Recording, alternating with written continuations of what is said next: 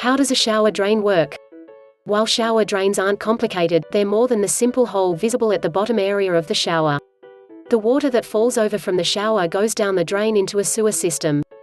At the same time, the drain is designed in such a way that it prevents the backup of sewer gases into the bathroom. Also, the shower drain opening should be watertight such that water drains without seeping beneath the base area and damage the shower area floor. The drain trap. The shower drainage features a piping that has a trap as part of its key components. The trap in the shower drain works like the one beneath the kitchen sink. While the sink trap is P-shaped, you may find some S-shaped shower traps.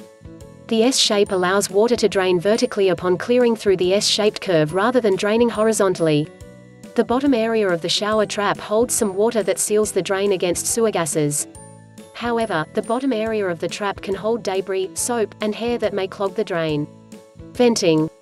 When taking a shower, water flows down the drainage and creates a vacuum within the drainage. The vacuum may slow the flow of water down the drainage. As such, the drainage is vented to allow water to flow freely. The venting works by allowing air to flow into the drainage.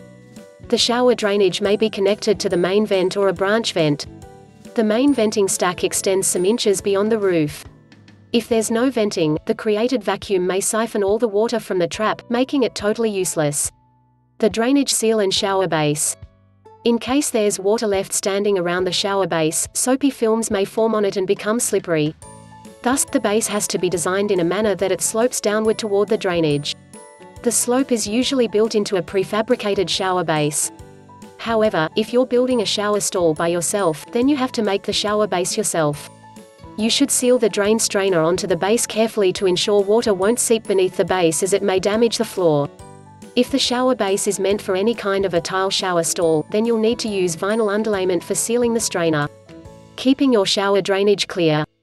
The shower drain can easily clog as a result of hair that collects on the drain strainer and within the trap. Hair collects and traps other debris. Plunging the drain may not clear hair clogs since hair is naturally clingy. If it's not possible to remove the drain strainer, then you can't use an auger as an alternative to a plunger. In this case, you may use a chemical-based drain cleaner. However, these chemicals aren't good for pipes.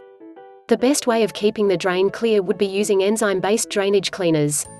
You simply pour the cleaner compound down the drainage regularly. Enzyme-based cleaners eat away the clog and are safe for use in pipes.